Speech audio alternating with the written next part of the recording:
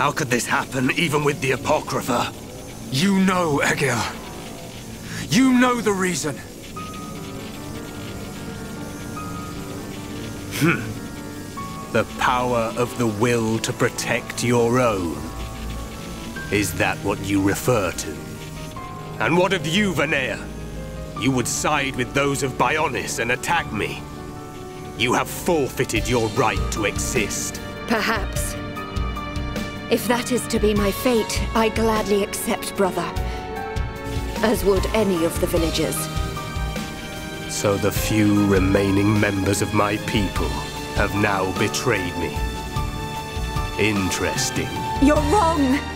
The villagers and I, we just wanted all this fighting to stop. Egil, all we wanted was to live with you in peace.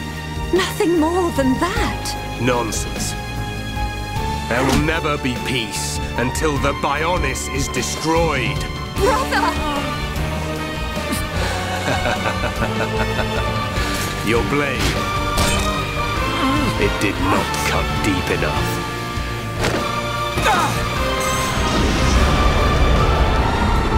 The Golden Mechon.